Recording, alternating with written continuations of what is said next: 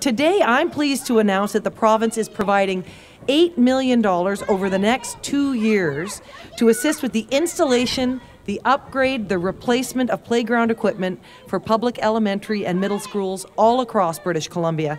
And I have spent a fair amount of time in my life so far in playgrounds like the one behind me, uh, doing parent supervision and working my way down the slides. The real winners with respect to this announcement today are the guys behind us.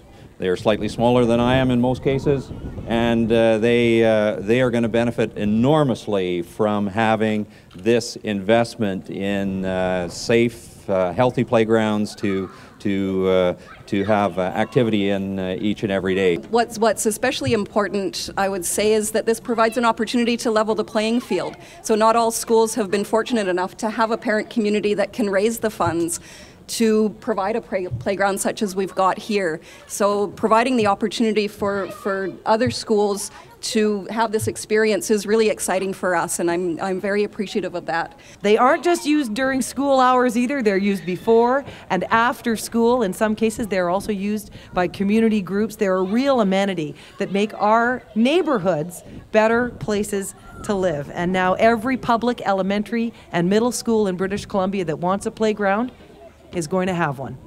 Thanks very much.